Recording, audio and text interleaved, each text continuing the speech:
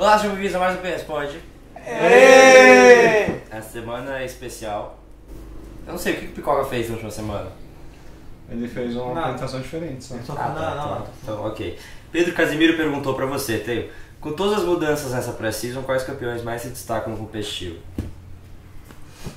Cara, acho que os jogos de Ó, o que você vai falar, hein? Relaxa, meu Eu acho que o Zero Game ficou muito mais forte que no último patch, que tipo, na última season só tinha tanque. Era, não só tinha tanque, mas eram os mais fortes, agora acho que tem espaço tanto pra tanque quanto pra early game. Boa.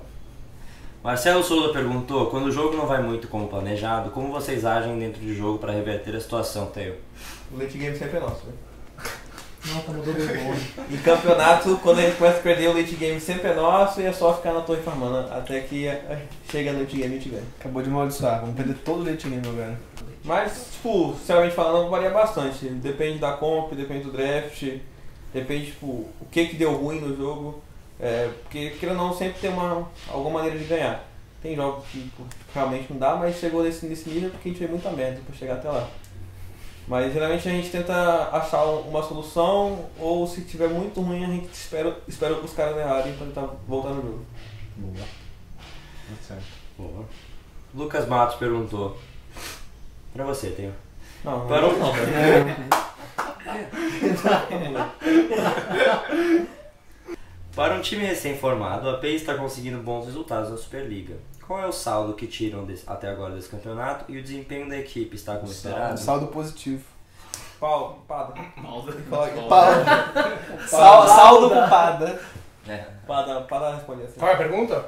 Ah, não. Aí. Que deselegante, hein? Muito bacana. Tirar resultados bons. Eu, não- eu não entendi a pergunta realmente. Faz aí, eu tava focado, eu tava focado em outra coisa. É um saldo positivo, acho que com certeza a gente só tem coisas boas pra tirar se o resultado tá bom. A gente, com certeza, assim, nos bastidores, a gente viu que o grupo tem muito mais potencial ainda.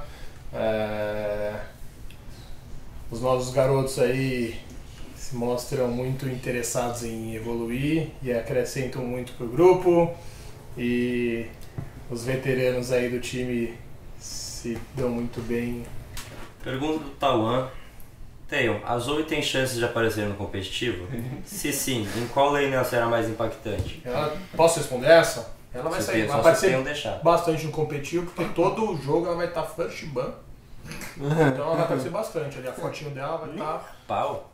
A presença dela vai ser 100% Só arrumar, que vai. só arrumar o negócio Vai estar bem presente nos Vai ser 100%. Vai ser 100%. A fotinho dela vai estar bem, bem. Só arrumar o negócio do Smite. Multi-role ainda. Negócio Nossa, eu gostei muito. Aqui, eu Muito. gostei muito, velho. Tá. Acho que de novo. Quando tipo, o um jogo é café do Smite, você sabe onde ele tá. É, pessoal, né? Escorto. Tá zoando. Aparece no minimapa a estrelinha? Aparece. Meu Deus, Não, acho que antes. antes ó, deixa, eu- deixa eu. Melhor que a Ashe, mano. É, Aparece obviamente, ela, obviamente assim. ela não vai entrar no competitivo do jeito que ela tá. Vão haver mudanças. Quem acha que ela vai ser nerfada, levanta a mão. Já fez muito bom, Eu acho que só o Julito dela ser nerfado. Quem- Então todo mundo acha que ela vai ser nerfada, tá? Nerfado ela vai, porque todo mundo chora. O Sleep é muito roubado. Então tá respondido. Não, não dá pra dizer se ela vai, como ela vai entrar no competitivo. Vai estar disponível essa semana? O W. É igual o Orb. É igual o Orb, se perguntassem do O W é Orb. mais de boa do boneco. Se tivesse. Usar aquilo lá, meu amor. Não pode usar 30 Pode, semanas pra mas um atrás do outro. Mas essa é a mecânica do Champion. É, a mecânica. Tem 8 bilhões de Ah, instrumental. O W ele não Ô, dá cara, não. sabia que se você tem flash e flash no W e você aperta B, saiu do W, Nossa, que bom isso, né? é anti-noob. É. Do Patrick. O CBLOL finalmente será no formato MD3.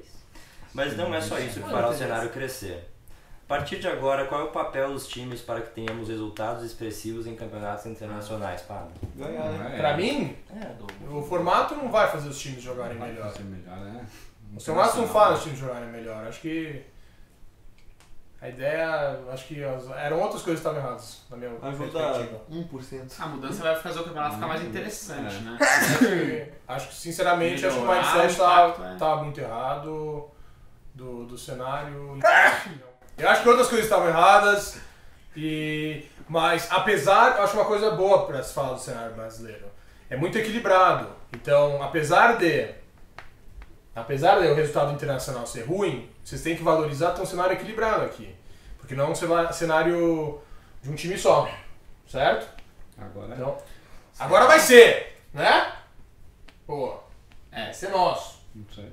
Vai! Vai, vai. Mas, Vai embora. mas mano. é importante entender isso também, porque tem muitos jogadores bons. Não é tipo, pô, ah, o time do Fake ganhando de novo, sei lá. Por não sei. TSM. Tem, é, TSM, pô, Lion, TSM ganhando de velho. novo. O G2, o G2 ganhou G2. dois anos. Vocês têm que valorizar isso no cenário brasileiro. É. Não tô, não tô querendo justificar.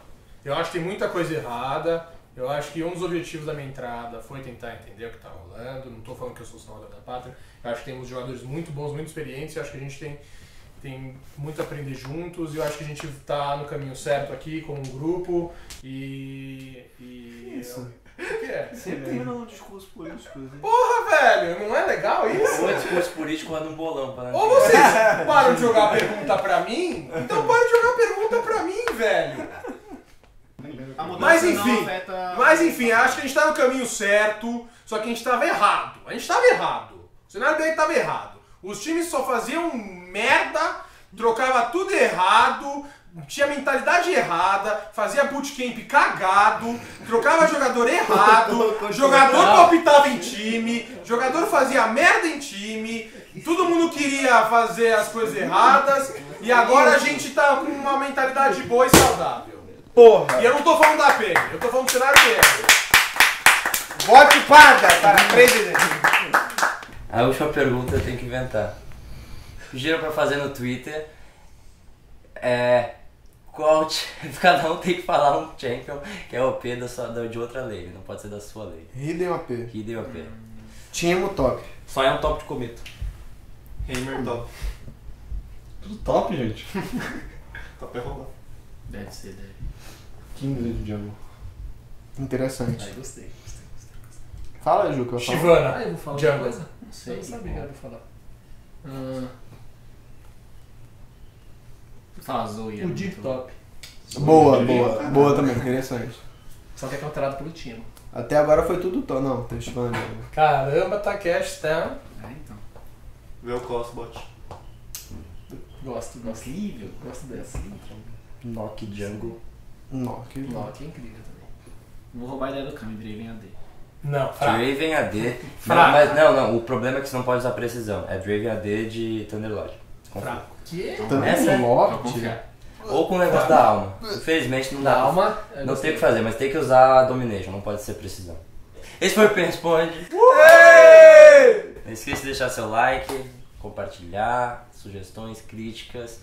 Ahn, e a gente se vê na semana que vem. Valeu.